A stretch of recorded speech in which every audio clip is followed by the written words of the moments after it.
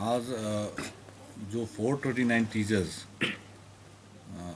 जो Kalimpong district Darjeeling district में last several years से काम कर रहा था टीचिंग प्रोफेशन में था, लेकिन लास्ट एट ईयर्स से उन लोगों को अपॉइंटमेंट मिलने के बाद भी अप्रूवल लेट अप्रूवल लेटर नहीं मिला था।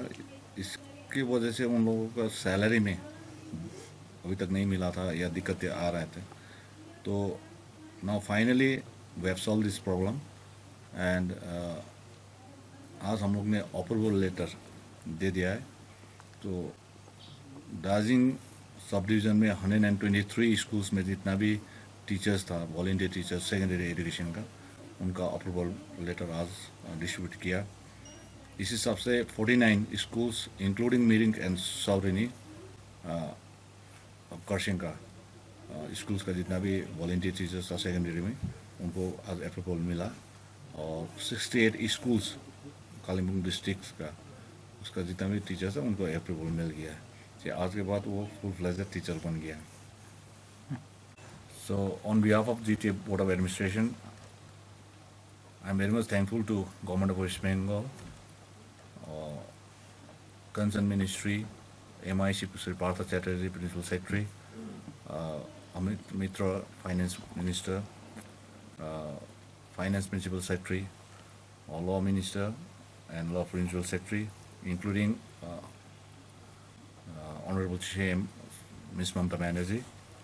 Or I'm, I'm thankful to DI Darling Secondary Education, uh, Mr. Tanti, Executive Director, Education Department GTA, and as well as MLA Darling.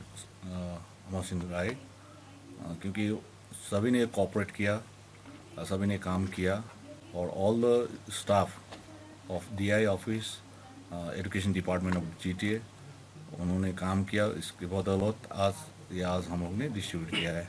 तो सभी को मैं धन्यवाद देता हूँ, और आने वाले दिन में जो भी 744 प्राइमरी और सेकेंडरी का जो टीचर्स का हम लोगों ने लिस्ट गवर्नमेंट पश्चिम बंगाल दिया है उनको भी फेस वाइज करके हम लोग अपॉइंटमेंट लेटर दे देंगे। आपको क्यों लगता है कि आठ साल हो गया इतना तक ये इशू सॉल्व नहीं हुआ था? लेकिन आप तीन महीने में दो दो महीने में ही सॉल्व जो जो पावर में था कुछ प्रॉब्लम हो रहा था इसमें? इसमें क्या है कि हम लोग को पॉजिटिव अप्रोच होना चाहिए। गवर्नमेंट की तरफ़ से भी पॉजिटिव अप्रोच होना चाहिए हम लोग की तरफ़ से भी पॉजिटिव अप्रोच होना चाहिए।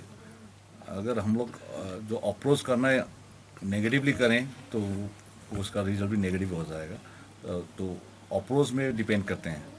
तो आज सभी ने एक, ये टीम वर्क भी था।